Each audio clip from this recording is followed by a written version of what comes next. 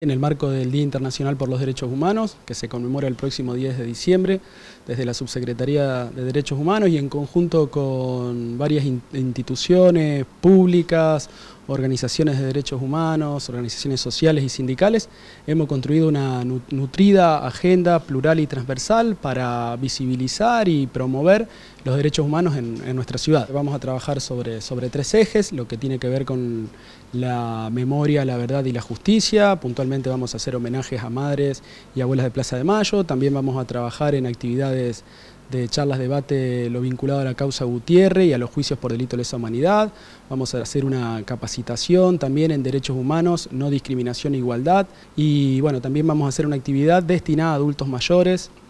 de recreación, que bueno, básicamente también recorre el campo histórico, cultural de nuestra ciudad a mediados de mes y la actividad creo que una de las más importantes en el marco de esta nutrida agenda se va a desarrollar en nuestra Casa de la Memoria, la estamos organizando junto con la Universidad Nacional de Río Cuarto y vamos a hacer la presentación de un trabajo que venimos desarrollando en, estos últimos, en este segundo semestre del año